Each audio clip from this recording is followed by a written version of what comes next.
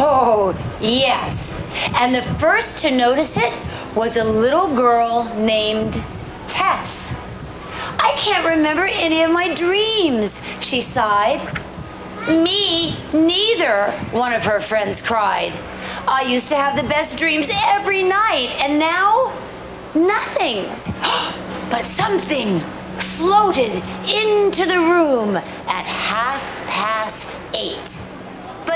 But he wasn't bad. So, Marcia, how does it feel to be the godmother of a cruise ship? It feels pretty awesome, to tell you the truth. I get to christen the ship next week and they've designed a wonderful event. Uh, just, just for people listening, if they don't know, I get to be the godmother for the carnival, the new ship, the Carnival Dream ship. It's the largest family fun, family uh, oriented ship that they have, and they're launching it anew, which they don't do every day, so this is a big deal. And we're launching it here in the New York Harbor on the Hudson River, which is my city right now.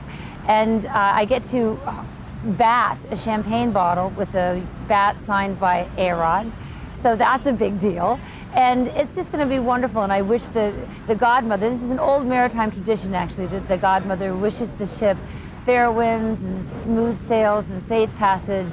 And I'm thrilled to do it for, for many reasons, but for this huge one is that Carnival is launching into uh, a give back situation with St. Jude Hospital which is the hospital that takes care of so many kids who are suffering from cancer and takes care of their families. And they're going to be raising $3 million for these kids, and they're also doing it through some innovative ideas on the ship where families who are on a cruise, sailing with their families, get to play games, let's say, or take part in a dance-a-thon or something, and that raises money for these kids and families. So it's just a win-win across the board. It raises awareness, it raises money, and um, and and also families who they're having a good time.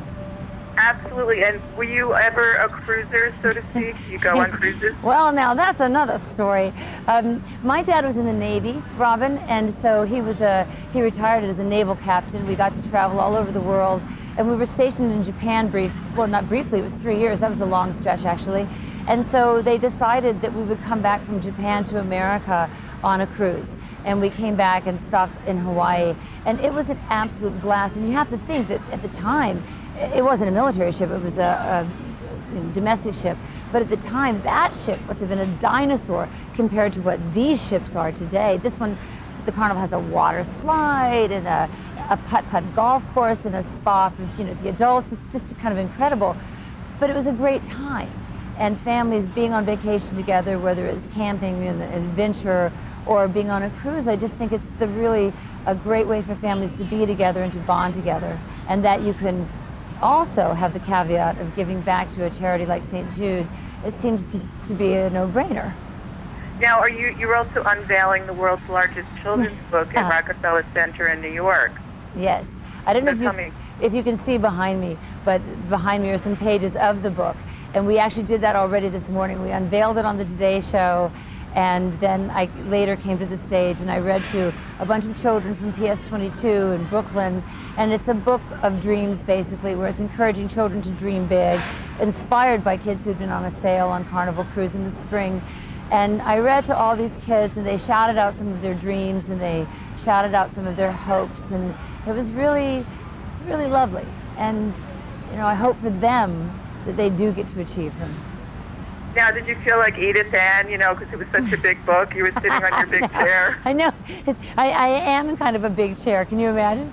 Thank God I'm not in a ridiculous outfit. No, you know what it really felt like? It felt so whimsical to me. And the, the drawings are really whimsical and the ideas are whimsical and the, the fact of what Carnival is doing is just lovely. You know, we, I have been on a cruise as an adult with my family and I think it's beautiful being under the stars on the ocean. I mean, it's it's not the same as being on land for us land lovers. It's, it's beautiful. And this morning was beautiful. It's a great day in New York. We have the oh those Yankees down the way, you know, and their ticket oh, tape yes. parade. You know that little thing.